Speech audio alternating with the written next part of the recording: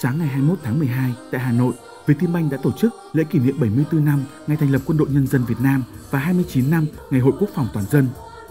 Tham dự buổi lễ có Trung tá Đàm Quốc Vương, Phó Chỉ huy trưởng Ban Chỉ huy Quân sự quận Hoàn Kiếm.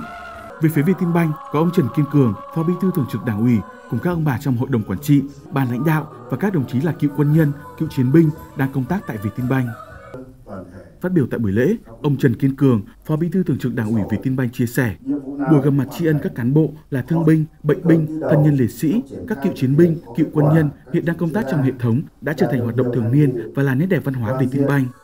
Nét đẹp ấy thể hiện tình cảm và trách nhiệm của hệ thống nói chung và của mỗi cán bộ, người lao động về tin banh nói riêng trong việc thực hiện chính sách đền ơn đáp nghĩa mang đậm tính nhân văn và ý nghĩa xã hội sâu sắc.